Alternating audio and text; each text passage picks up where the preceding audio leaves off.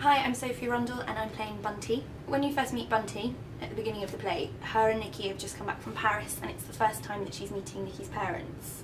Which I think is probably quite a scary thing for anyone when they've, you've just got engaged and you haven't met them before, but particularly for Bunty, she comes back into this quite wild house and this really big glamorous mother and suddenly Nicky's behaviour probably changes quite a lot around her so she sort of walks into this very different atmosphere from what she's used to and I think she's she's very good at charming people and she's very good at handling Florence but she definitely sees that something's something's a bit different. And it's a really it's quite an interesting introduction. It really sort of shows what kind of world Florence lives in and what kind of world Bunty's come from.